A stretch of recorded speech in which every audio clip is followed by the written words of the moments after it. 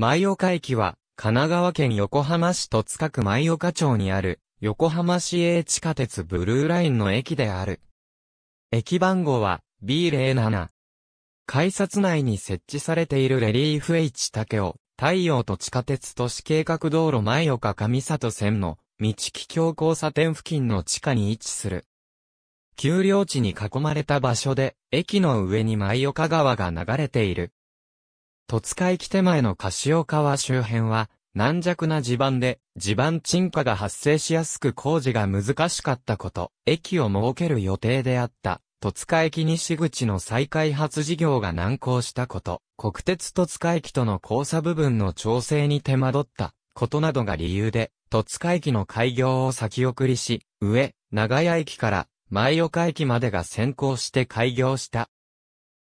前岡駅から戸塚駅までが開業するまでの2年間、当駅は終着駅とされたが、設計上折り返し設備を設けることができなかったため、上、長屋駅から東駅までは、単線折り返し運転となった。開業日の前岡駅地名から取られた。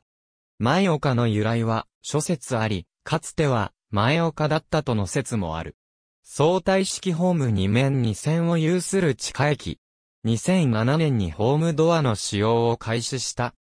地下2階建ての構造で、地下2階に、ホーム、地下1階に改札口と、コンコースが作られている。地上へは南側に1番出入り口、北側に2番出入り口が設けられ、地上の指導を挟んで向かい合う。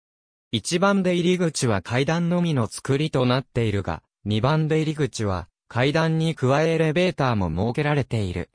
自動券売機、自動改札を設置。1日あたり、乗車人員の推移2020年度の乗降人員は4469人で、横浜市営地下鉄全線で最も少ない。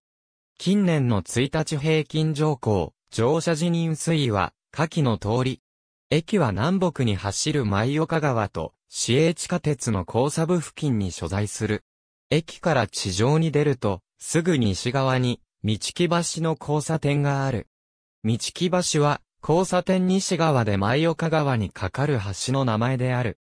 駅南の舞岡川は、自然の雰囲気を損なわないような整備がなされており、そのまま辿っていくと1キロ程度で、舞岡公園に至る。舞岡地区が、横浜市の市街化調整区域に指定されているため、周辺には、住宅地のほか、水田や山林も多い。駅周辺に商業施設がほとんど存在しなかったが、2016年にファミリーマート横浜前岡町店が開店した。江ノ電バスにより運行されている。なおバス停の近隣に江ノ電バス、鎌倉営業所前岡待機所があるが、当バス停を終点とする路線は存在しない。ありがとうございます。